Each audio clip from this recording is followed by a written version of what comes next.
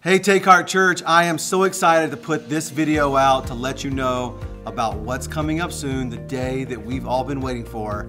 May the 17th, it is back to church Sunday. We are so pumped to have our Take Heart Church family and those of you in the community who have hopefully been watching us to come back and let's worship together. I have so missed you guys and I am pumped to hopefully see you soon. Before we talk about what it's going to look like coming back to church, let me just say this. If you have any reservations at all about coming back this early, we completely understand and we encourage you to stay home and watch at our online services, which are the same times at 9 a.m. and 11 a.m. We still consider you a part of our church and there is no judgment made. So if you do decide to come back to be with us, I want to share with you in this video what church is going to look like. We have decided to launch two services live when we come back to church for several reasons. One, it helps us keep the crowds a little bit smaller and social distance in our auditorium.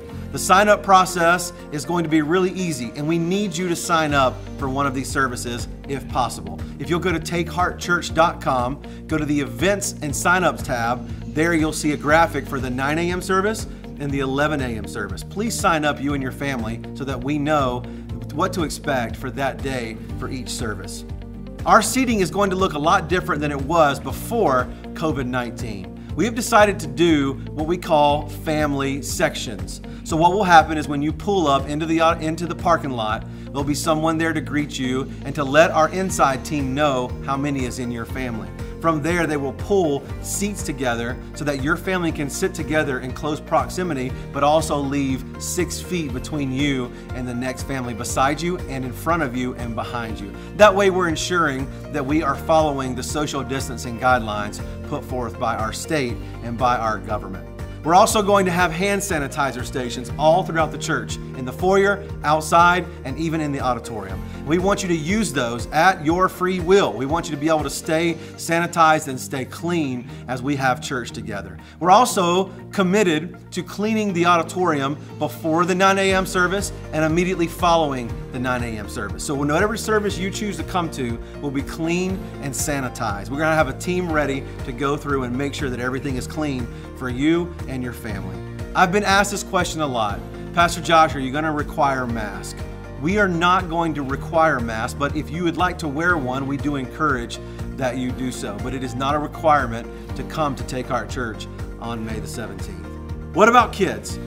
This is one that we wrestled with. We love our kids ministry. In fact, a, a, major portion of our church is built on our kids ministry. But we decided ultimately that the safest thing was that we would put that we would not put our kids in a, in a, in a place where they do not understand social distancing.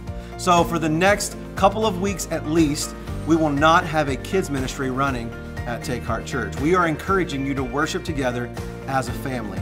How are we going to do that? Well, here's what we have come up with. We have put together what we're calling kids um, uh, bags for each service. So when your child comes in and you guys get together as a family, they're going to receive a bag that's going to have things like a coloring book, little play toys, things that they can do to help them stay interactive and stay and hopefully stay quiet and, and, and engaged in the service. The next thing we're going to do is have a kids opener every Sunday. We're not going to neglect your kids and the awesome things they learn back here at Take Heart Kids Ministry. So the first part of every service will be a kids song that your kids can jump and dance to at their seat along with you the parents. We're going to ask you to engage.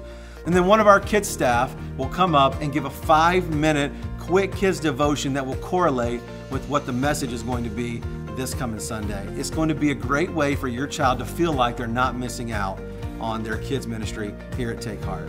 If you have a kid in service that becomes disruptive or unruly or just cannot sit still, we're going to have several options for you. Number one is we are going to have our toddler room and nursery room available for a quick visit. It's not designed for you to go in and stay the whole service, but if you have, say, a three year old, I have a four year old. Uh, if, if my four year old says, Hey, I, I really need to get out of here for a second, I can walk Haven back. We can go to the back room, chill out for a second, um, have, have kind of a break, and then immediately go back into service. If you need to change your child, the nursery will be available for that. We're limiting those rooms to two families per room, one on opposite ends, to make sure that we have proper social distancing guidelines for our church. Immediately, uh, when, when a family leaves, immediately following that, there will be someone to come in and clean that section, preparing for the next family that may need to use it. We are also working very hard to have an FM transmitter. So if you say, hey, I really need to, my kid's just not being able to sit through service, you can go to your car, turn the car on, turn it to an FM station that we'll have set up, and you can listen to the service there. And of course, you can always go to your car, put it on Facebook Live, and sit there until your child is ready. We don't want, we want you to know this. We are going to embrace the chaos. So when our kids come in, they're to have a good time, and we're to have a good time together as a church family. I cannot wait to see you. We're going to have a lot more things in place, but these are the main ones that we wanted to bring to you today on our video so that you know what to expect as you come back to church. Take Heart family and Take Heart visitors. We're doing our best to make sure we're providing an environment that is safe for you. But I want to say this once again. If you have any reservations, there is no shame or judgment in staying home and enjoying worship with your family online. I hope to see you soon. I have truly missed all you guys. I'm excited about what God is doing at Take Heart. So I'd like for you to go ahead now, go to takeheartchurch.com or go to your Church Center app and let's sign up for one of those services at 9 a.m. or at 11 a.m. on May 17th. I'm ready to worship with you.